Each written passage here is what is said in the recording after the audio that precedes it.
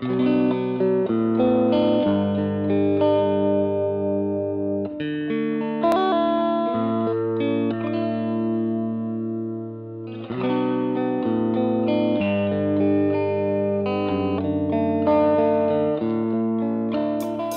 Die französische Messerhauptstadt Thiers blickt auf eine jahrhundertealte Schneidwarentradition zurück, stand aber immer im Schatten der sehr viel bekannteren Gemeinde La Jolle, deren Name auf eins der bekanntesten Messer Frankreichs überging.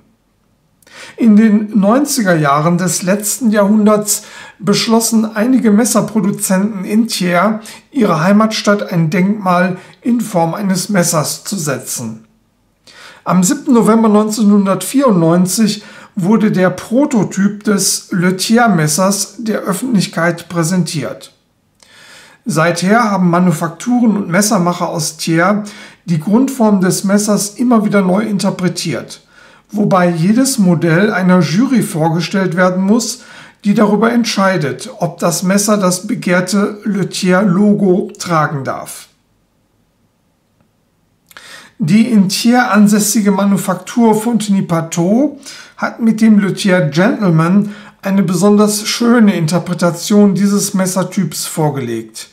Im Unterschied zum schlanken Luthier Prototyp fällt die Silhouette des Fontenay-Pateau Messers etwas breiter aus. Wir stellen das Messer hier in zwei Varianten vor.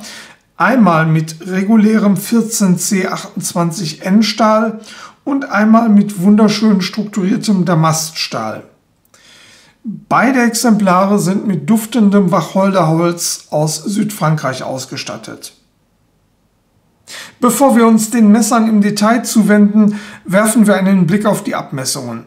Das geöffnete Messer kommt auf eine Gesamtlänge von gut 20 cm. Die Klinge misst 8,7, der Griff 12 cm. Die Klingenstärke beträgt 3 mm. Das Gewicht liegt bei 132 Gramm. Der Griff des Luthier Gentleman birgt eine besondere Raffinesse. Auf den ersten Blick scheint es sich um einen gewöhnlichen Aufbau aus Platinen, Griffschalen und Backen zu handeln. Doch wie wird die Klinge eigentlich verriegelt? Das Geheimnis steckt in der Metallöse am Griffende, die über die Schalen hinausragt. Sie dient nämlich gleichzeitig als Drücker für die Entriegelung des Backlog-Mechanismus.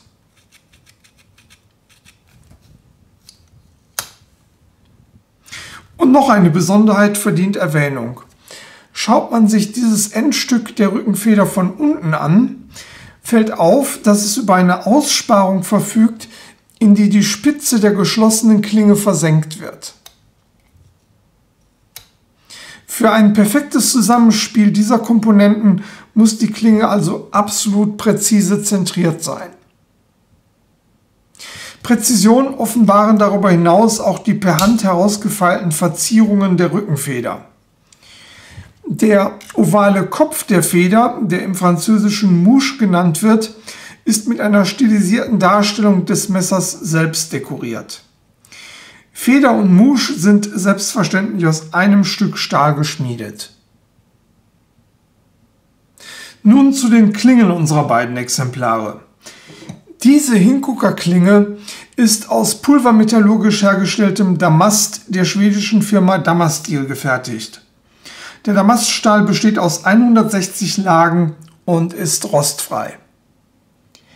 Der Klingenstahl des anderen Messers ist der hochwertige Sandwig-Stahl 14C28N, ebenfalls rostfrei und sehr schnitthaltig.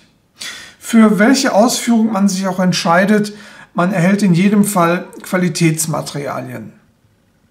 Auf der Klinge sind im Übrigen der klassische Luthier-Schriftzug sowie die zu einem T mit Punkt verknappte Luthier-Bildmarke zu erkennen, die beide geschützt sind.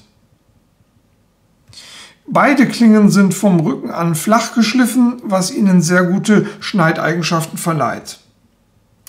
Dank eines im Griff verborgenen Klingenanschlags können die Schneidkanten beim Schließen der Messer übrigens nicht auf die Rückenfeder aufschlagen. Messer aus der Manufaktur Fontenay-Pateau sind bekanntlich absolute Spitzenprodukte, die handwerklich auf höchstem Niveau verarbeitet sind. Das gilt selbstverständlich auch für das Luthier Gentleman, dessen Ästhetik und Technik die noch relativ junge Tradition des Luthier-Messers auf kreative Weise bereichern.